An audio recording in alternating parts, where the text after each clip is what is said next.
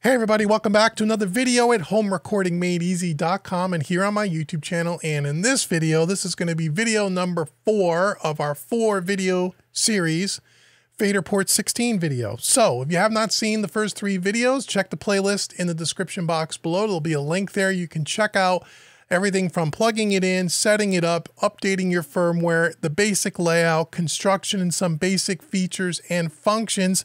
This time out, we're going to talk about one of my favorite features about using a FaderPort, and that is being able to control your plugin parameters with your hands and not having to use a mouse or a keyboard. But before we get to that, if you like what you see in this video, please consider subscribing. Also hit the notification bell so you know when I post other content. And if this is your first time here, go out to homerecordingmadeeasy.com. I want to give you a free mixing course. It's worth a hundred bucks. It's my gift to you just for visiting homerecordingmadeeasy.com. And if you stick around till the end of the video, I'm going to give you something else for free. So why wouldn't you? So let's go here into Studio One. So here's our FaderPort 16. Again, this is all the same FaderPort 8. All these functions are the same between this and the FaderPort 8. So let's talk about plugin control. Really, really cool what you can do here. So I got a session set up here for some examples to show you. So the first thing we want to do is let's make sure that we're all in our um, mode button up here that we have track lit up blue. Right, so I want to make sure our track mode is here. And if we hit our selection, our channel button over here beneath the jog wheel, we can take our jog wheel and we can scroll through our tracks, right? We saw that in the last couple of videos. Let's come over to track one here where I have three plugins already inserted, a PreSonus plugin as well as two third-party plugins. If I hit this button right underneath the track button called edit plugins, I hit this once, now what's going to you're going to see on the scribble strip, which I know you can't read because of the contrast and the lighting in this video, but trust me, because there are three plugins on this track, a Pro EQ, um, a plugin by Slate Digital called Fresh Air, and a plugin by Soundtoys called the Devil-Loc. On the scribble strip, it'll show me the track here because I'm kick track, which is my track one. It'll show Pro EQ on the first screen, Fresh Air on the second screen, Devil-Loc on the third screen if I press the select button for the first for the first plugin, you're going to get the Pro EQ and it's going to pop up here. And then what happens is all of the parameters from the Pro EQ are now on the faders, which is really cool. And again, I know you can't read the screen, but here is, for example, our low frequency uh, fader 3. And if I move fader 3, you'll see the Pro EQ, that parameter is now changing, right? If I move Fader 4, that's the low frequency gain. So this is really, really nice. Here's our low, our low cut frequency here. And if I select that, it'll put a low cut. Okay, and then I can go ahead and I can change my low cut. Really, really cool. So you want to highlight with the select button the parameters that you want to change. Here is our mid gain right here. Really nice. You can adjust the Q value, everything. All of the parameters spill out across all of the scribble strip. So if you have a FaderPort 8, you'll only have 8 of these little windows. If there are more than 8 parameters, like there are on this particular plugin, you can page over um, and you'll be able to see that. Like this one has page 1 through 8. How do I page over? Okay, there we go. If I use the keys here next to the jog wheel, uh, previous and advanced, I can see up here now I'm on page 2 to 8 three, four, five, six, seven, and eight. Okay, there's only parameters on one of the pages. But if the parameters, if there were more than 16 parameters, let's say there were 20 parameters, or if you only have a FaderPort 8 and there's 10 parameters, you would hit the page over button here, and that will bring you to the next parameters up on your faders. Okay, so that's how you can easily with the uh, with a PreSonus, a stock plugin, it automatically just maps itself. It's really, really cool. Okay. Now, in order to close that plugin window, you can do it with your mouse, but why do that if you don't need to? You could come over here to your shift key, hold your shift and hit the macro button, which is the open close button. And now it closes the window. Really cool, right? And if I do that again, it'll reopen it again. Really cool. Okay. If you look, if you watch the last video where I talked about programming your user keys, here, you could program one of your user function keys to open and close floating windows if you wanted to. Oops, but I first have to make sure that I'm in track mode. Is that the right button? Oh, I got the wrong button. I'm sorry. Forget that. Go back and watch the other video. You can see how that is done. I don't want to screw this up on you. Sorry about that. So anyway, you hold shift, close macro, it'll open and close. It automatically maps itself. Now let's go back. Let's close this. And when we close it, it brings us up to the main level here where now I can see my three plugins. My second plugin is the Fresh Air by Slate Digital. So if I hit select, it's going to open up the Fresh Air. Really cool. Right now, you can see all the faders are down at zero and it's not doing anything. If I move the faders, nothing on the plugin happens. And you say, well, why is that, Dave? It's a third-party plugin. It doesn't automatically map. We're going to map the controls to it. It's really, really simple so you can use your faders. So what you do is you come over to this little cogwheel on the plugin, and there may be many ways to do this, but this is the way I know how to do it. Click the little gear icon, and right here, we're going to go FaderPort, that little triangle, FaderPort 16, and we're going to get our mapping screen here. Try to move these out of the way so you can see them. Now, the easy way to do it is to just go ahead and just hit autofill and now what you'll see is it automatically maps the four controls, because this particular plugin only has four controls, to the four faders here on, on Studio One. So if I move this out of the way a little bit, and if I take the trim, you can see that the trim value here, where my cursor is, is, is, uh, is changing. Um, we have a bypass, high air. If I turned high air, it turns up, or mid air. Really cool, right? So all you have to do is just hit autofill and it will map most of the controls. Now, what if you said, hey, I have a link button here. What if I want to turn the link on and off with my FaderPort? How do I do that, Dave? Great question. So what we can do is we can manually assign this. The way you do that is you want to go ahead and you want to click the link, okay? And then come over, I think you could do it this way, right? Click link. I hope this is this is uh linkable. Let's see. Oh, turn this on. And maybe not, it may not be because I see when I click here, I don't see it up here in the control area. It only shows, oh, maybe that's because it's an autofill. Let me try this. Nope, same thing. This is not a good example on this plugin. I'm going to show you on the next plugin how to do this. But what you would do is click the parameter that you want, take the little hand up here, left click, and drag it down to the next open button. Whoops, let me do that again.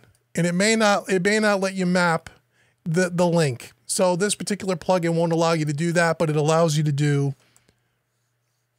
these, okay? So let's close that and let me show you on the next uh, plugin here. Um, if I were to, again, um, close that window, now I want to go to the Devil-Loc and here's the Devil-Loc. Now, once again, I could click on the gear icon. It's already open. I could come over here, go FaderPort 16, now let me see if I can do this manually for you. So if I want to, I want to make sure my track, my edit plugins window's open. If I click on, let's say the crush, and now you can see up here, it says crush. If I click on crunch, it'll say crunch up here in the top left-hand corner. I want to say crush, take the hand, I'm going to drag it over to the first button. Now it says crush. Now if I take the fader and move it, you'll say well, wait a minute, Dave. The crush, the crush fade, the fader's not moving the crush parameter. Why is that?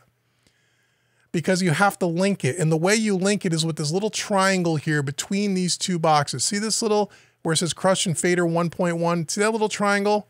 If I click that yellow, you'll see now that the word crush comes up in this box down here. See this box down here again? I want to make sure you guys see this. See where it says crush down here where my cursor is, right? If I click that triangle, it goes away. I want to link it. That links it. Now if I link it, now you'll see that the crush works on its own. Okay, if I want to go to crunch, click the crunch. You'll see crunch shows up here in the top left-hand corner. Take the hand, drag it down. Got to I got to engage or enable the little link. Oops, sorry. Okay. Why is it not working? Come on now. There we go. Now it works. Okay.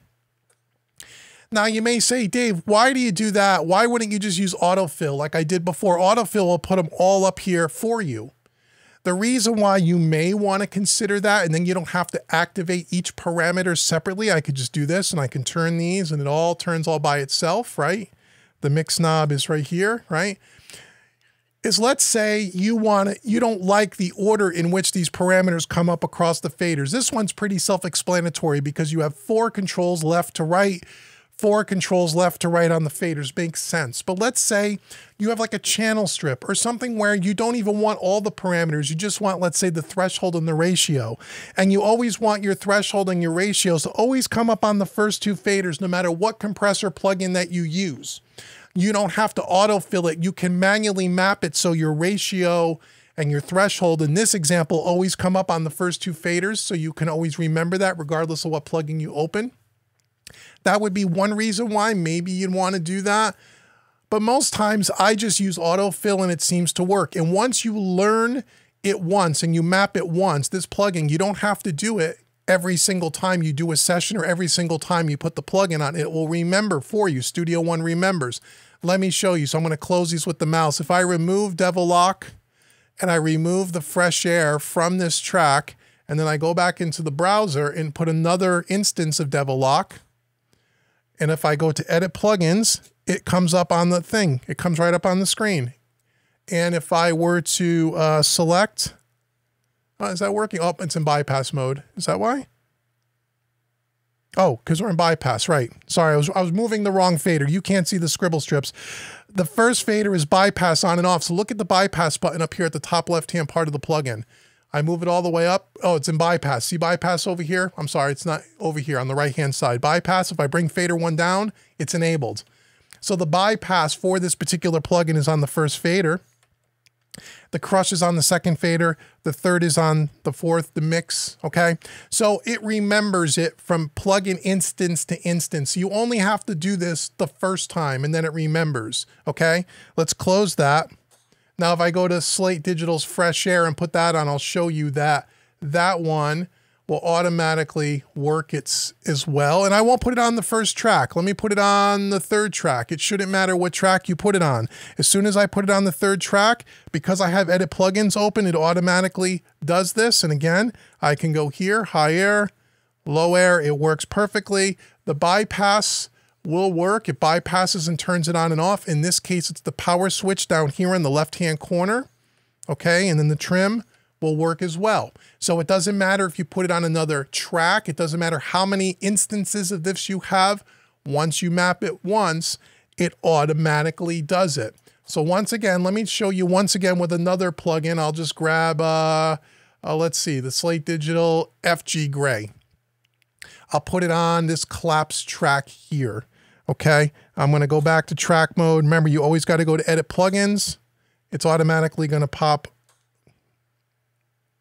let me close that here. Let me go to, uh, we got to select the channel that it's on. So it's on channel 11. So let me scroll over to channel 11. Oop. Hit our channel button. Okay, here's channel 11. If I go to edit plugins, it'll be up here in the top left-hand corner. It says Slate VB, VC, um, VBC Gray, FG-Grey. Hit that, it opens up. Once again, if I open up my little gear wheel, you'll see that it's already mapped because I did it autofill. It's already here. And all my parameters are here. And if I were to take one of these, here's the attack time. You'll see the attack time right here. I'll put it with my mouse so you can see it. The attack time works. The release time works, okay? So it automatically remembers it regardless of what track you put it on. Okay, so that's how you map and control your plugins. Very cool. Now here's something else that's really cool. Let's say you have multiple plugins on a track. Let me throw this, let me throw another one here on this kick track. So we have three, we have three, uh, we have three uh, tracks here, right? Three, excuse me, three plugins on this track. Let me go back to channel. Okay, so we're over here. I'm going to hit edit plugins. Okay, and I'm going to select my channel. Oops. Right there. Edit plugins. Why doesn't it show up? Oh, I hate when Studio One does this and it, it, it confuses me. There it is. Okay, I had to hit edit plugins twice. Sometimes you have to double hit the button. I don't know if it's because something in firmware or something in the software is not thinking clearly anyway.